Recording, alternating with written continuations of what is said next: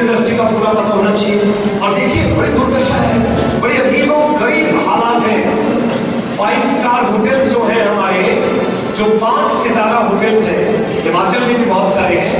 जब लोग उनमें खाना खाने जाते हैं तो वहाँ पर तीन तरह के लोग खाना खाने जाते हैं। एक तो वो, जिनको डिपार्टमेंट से फ्री अथराइज होता है कि आप फाइव स्टार में खा सकते हैं। तो जब ऑर्डर वो प्लेस आपको समझ आ जाती है ये बिल धुमन साहब को जा रहा है या किसी और को जा रहा है, उसके हिसाब से आपको समझ आती है जो फ्री वाले होते हैं। नंबर टू, पहले हो गए जो गवर्नमेंट अधिकारी जो अथराइज थे दूसरे वाले बिजनेसमैन जो किसी को ऑब्लाइज कर रहे होते हैं कॉन्ट्रैक्ट लेने के लिए, काम लेने के लिए, कुछ करने के लिए तो वो कहते हैं, अरे ये भी खाइए ना?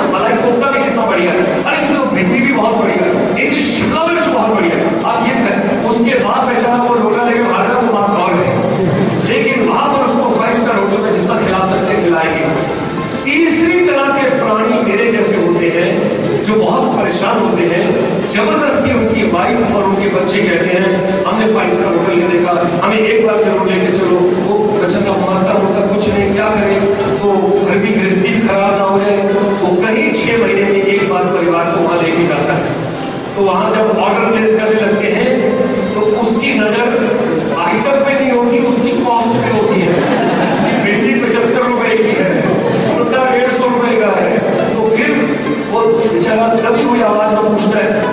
बच्चे क्या लोगे आप फिर भाई से पूछता है वैसे तो एक दाल और एक सब्ज़ी ले लो तो ठीक रहेगा बहुत बढ़िया। ज़्यादा क्या करना है?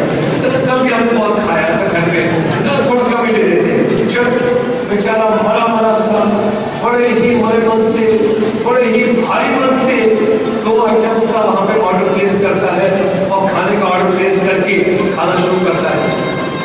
बीच में एक स्मार्ट सा बच्चा जो डिस्टेंस एजुकेशन में bachelor degree airlines tourism and hospitality management कर रहा है हिमाचल का वो वहाँ पे आता है वो कहता है सर आपको खाना अच्छा लगा है वो वैसे तो है उल्लू के बच्चे भाग जाए यहाँ से। शक्ल पर दिखा दो अपनी। लूट लिया भिंडी पचहत्तर रुपए की, दस रुपए की पड़ोस में मिलती है। भरता डेढ़ सौ रुपए का। जो दो। बैगन मेरी सास को वैसे ही फ्री दिलवा देगी। हमारे खेत में लगे हुए हैं। और ये सारी चीज़ों को लेके सब कुछ वर्कआउट करके और फिर थोड़ी देर के बाद उस रेस्टोरेंट का मैनेजर भी पूछने आता है, सर, आपको खाना अच्छा लग रहा है? वो कहता है अब पैसे इनमें दे दिए कुछ खा तो लेने तो उसके बाद में देखिए, जब वो बेचारा भागीपन से अपने बटवे में से पैसे निकालता है, सब कुछ करता है तो वेटर की नज़र होती है, उसके टिप पे कि कितने पैसे देगा। और उसकी नज़र होती है कि ये चेंज लेके आया कि नहीं लेके आया।